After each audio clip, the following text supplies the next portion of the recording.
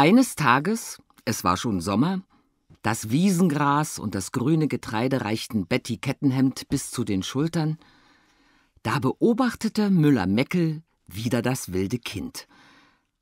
Als plötzlich ein glänzender Blechbuckel über den wogenden Ähren auftauchte, das Dach eines Luxusautomobils. Das Auto schaukelte wie eine Sänfte, die von hinkenden Trägern geschleppt wird.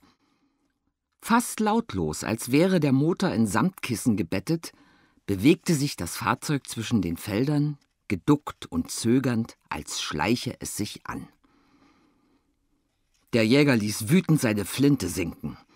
Kam da etwa jemand, um in seinem Revier zu wildern? Er ging in Deckung und beobachtete. Das Auto hielt. Betty Kettenhemd tauchte ab. Eine Dame und ein Herr stiegen aus. Sie berieten sich. Dann holten sie Körbe aus dem Auto. Eine Duftwolke breitete sich aus. Es war der Duft des Wohlstandes. Er war komponiert, äh, das heißt gemischt aus Seife und Vitamintabletten, Insektenspray und Wäschestärke, pikant gemacht mit einer Prise Pferdeschweiß, gekräftigt durch einen Hauch Knoblauch, abgerundet mit einem Quäntchen Zahnarzt, vollendet mit wehendem Burgunderfähnchen. Oho! Der Sommerduft räumte beschämt das Feld. Es war ein blühendes Kleefeld und auf diesem Feld wurde nun ein Picknick vorbereitet. Auf einem Tuch, so rein wie Gletschereis, von feinster Spitze durchbrochen, das Meisterstück einer Weißnäherin, lagen und standen dicht an dicht. Braten und Schinken und seltener Käse, marinierte Häppchen, panierte Stückchen, Schälchen mit Soßen und Körbchen mit Gebackenem, Döschen mit Würze und Schachteln voll Konfiserien Krüge mit Säften, Kannen voll heißer Schokolade, Gläser mit Gelatine und Näpfchen mit Pudding, tropische Früchte und Müsli vom Biohof. Es lagen bereit Schlangen aus buntem Papier, eine lustige Tröte aus lackierter Pappe und fröhliche Hütchen aus Krepp. Und in der Mitte stand ein großer Blumenstrauß, frisch aus Holland eingeflogen. Daran lehnte ein gar liebliches Bilderbuch, das handelte von einem Prinzesschen mit goldenem Herzen.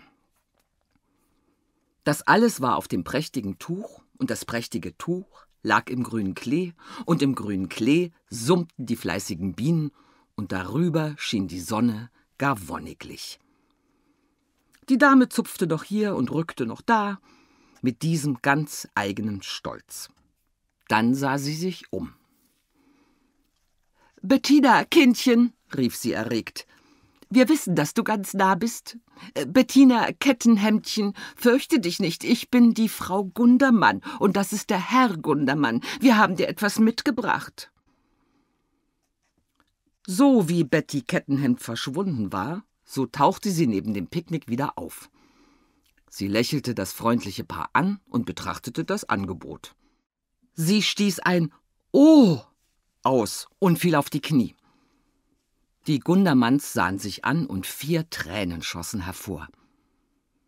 Doch das war gar nicht nötig gewesen, denn Betty Kettenhemd war keinesfalls vor Staunen in die Knie gesunken.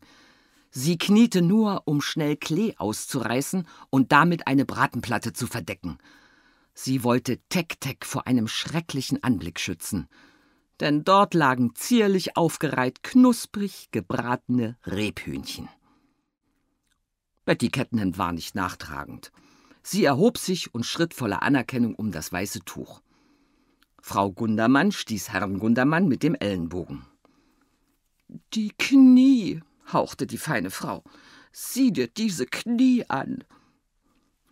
Und so, wie das Kind die auffällige Gestaltung des Stückes Kleefeld betrachtete, so betrachtete das empfindsame Paar die Beschichtungen auf Betty Kettenhemds Knien.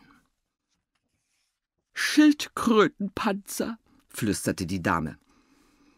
Die dicken Knie des dünnen Mädchens hatten sich vorzüglich den Zumutungen des wilden Lebens angepasst. Insektenstiche, Nesselsäuren, Ameisenbisse, Kräutersäfte, unzählige kleine, harte Narben feiner, tiefer Dreck und Sonnenbräune, hatten eine undurchdringliche Lederhaut geschaffen. Diese Knie waren die Freude des fünften Busches, der ja schon viele Kinderknie in seinem Leben untersucht hatte. Schildkrötenpanzer. Besser als Frau Gundermann konnte man es nicht sagen. Betty Kettenhemd räumte nun alle Braten und Schinken, die Rebhühner natürlich nicht, ordentlich ab und warf sie weit mit einem glücklichen Juchzer ins Kleefeld. Ach, wie oft war nun dieses kleine rote Leuchten zu sehen und das Krachen und Knacken eines guten Gebisses zu hören. Dann erst naschte das Kind von den Häppchen und tunkte in Soßen und knabberte an Stückchen, schleckte Pudding und schlürfte heiße Schokolade. Es bemühte sich, so wenig wie möglich umzustoßen und schonte auch die Dekoration, denn es wusste, was sich gehört. Herr Gundermann wurde von Frau Gundermann energisch festgehalten, denn er wollte unbedingt dem Kinde beibringen, wie man so ein Picknick richtig begeht. Er hatte ein Krepphütchen in der Hand und wollte es Betty auf den Kopf setzen. Er wollte erst noch etwas Lustiges sagen und mit der Tröte tröten. Sie hat einen Schock, flüsterte Frau Gundermann. Sie kennt nichts Schönes, sie ist überfordert. Betty Kettenhemd war nicht überfordert. Auch ihr Magen konnte die ungewöhnliche Belastung gut aushalten. Sie beendete das Mahl und steckte noch ein paar Kekse in die Taschen, denn alle Lehrerinnen naschen gerne Kekskrümel. Dann blätterte sie im Bilderbuch und schob es unter die Kette, um es Dumbasch zu schenken. Dumbasch hatte zwar Probleme mit dem Lesen, aber er verstand es recht gut, Bilder anzusehen. Und eine Bilderzeitung zwischen Pappdeckeln, in der von goldenen Herzen erzählt wurde, war für ihn genau das Richtige. Um sich bei dem großzügigen Paar zu bedanken, wollte Betty Kettenhemd ihre neue Sprache ausprobieren, an der sie seit Tagen tüftelte. Sie wollte Herrn und Frau Gundermann damit ehren. Betty nannte diese Sprache die Ruff-Wuff-Sprache oder auch Knurrbettinisch. Natürlich hatte sie der Umgang mit dem schwarzen Mülleimer dazu angeregt. Betty begann das Gespräch mit einem freundlichen, dreifachen Rrr, rrr, rrr. Die Gundermanns wichen erschrocken zurück. Um sie zu besänftigen, schloss das sprachbegabte Kind sofort ein Rrr, Rrr an und ein zärtliches Ruff, Ruff. Es wurde nicht verstanden. Betty versuchte es mit anderen Wörtern. Ruh, ruh, ur, ur. Sie fragte schließlich Uru, uru. Doch sie musste sich selbst antworten. Mrr, mrr, or, or. Zugegeben, der Knurrsprache, erfunden von Betty Kettenhemd, mangelte es noch an Vielfalt. Doch mit etwas Mühe und Einfühlung hätten Frau und Herr Gundermann die bemerkenswerten Ansätze erkennen und würdigen können. Aber nein, die feine Dame schlug die Hände vors Gesicht und kreischte Sie ist total vertiert. Und ihr Mann stammelte Vielleicht ist das Russisch? Frau Gundermann hatte sich als erste wieder in der Gewalt und ihr Lächeln im Gesicht stabilisiert. Sie näherte sich sogar mutig dem knurrenden kleinen Mädchen. Du seien nicht böses Wolf, du seien liebes Kind. Ich seien so etwas wie eine Mama, das seien ein Papa. Mama, Papa, Kind, du verstehen? Sie ging in die Hocke denn sie hatte in einem Tierbuch gelesen, dass gemeinsame Augenhöhe Vertrauen schafft. Wir steigen in Auto. Na, sage mal. Auto. Betty entschloss sich mit einem Irre, irre zu antworten. Fahre, fahre in schönes Haus, fuhr Frau Gundermann fort. Haus, du verstehen? Höhle, Bau, Nest, gemütlich, kuschel, kuschel, sauber. Du dich wasche, wasche. Betty Kettenhemd senkte den Kopf. Ihre knurrende Dankesrede war nicht ganz gelungen, aber sie hatte schon eine neue Idee. Sie entdeckte vor ihren Füßen eine kleine Pflanze im Gras. Sie bückte sich und pflückte sie ab und hielt dem verwirrten Paar ein Wiesenkraut freudig entgegen. Herr und Frau Gundermann wussten nichts damit anzufangen. Betty Kettenhemd wurde ernst. Diese Pflanze trägt ihren Namen, sagte sie ruhig. Sie heißt Gundermann, lateinisch Glechomea hedaracea. Ich schenke sie Ihnen. Diese Pflanze sollte in der Mitte Ihres Familienwappens stehen. So ein Wappen können Sie auf Briefköpfe drucken oder in Servietten sticken oder in Etuis ziselieren lassen. Auch auf Grabsteinen macht es sich gut. Und hier noch ein zweiter Rat. Natürlich sollte man genussvoll mit der Sprache spielen, aber was Sie getan haben, gnädige Frau, das nennt man Radebrechen. Das ist treffender als der Begriff Pidgin im Englischen, denn Radebrechen kommt tatsächlich von der alten öffentlichen Folter, bei der die Knochen eines Menschen auf dem Rade zerbrochen wurden.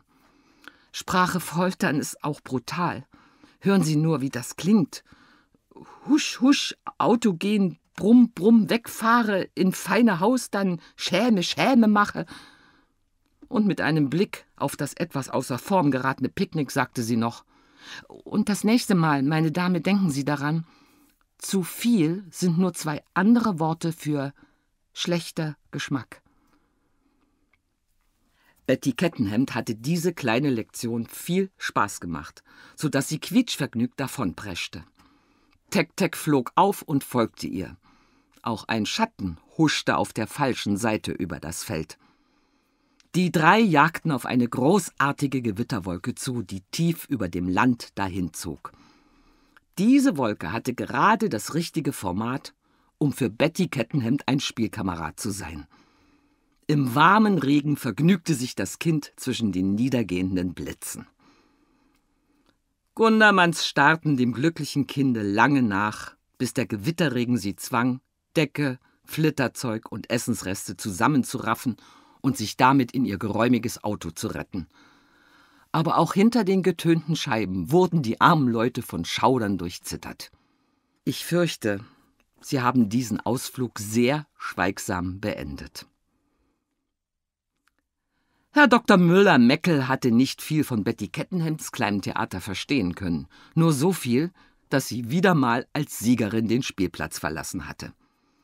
Er schob zornig eine regenfeste Hülle über sein teures Jagdgewehr und stapfte vor sich hin brummend davon. Na, warte. Na, warte.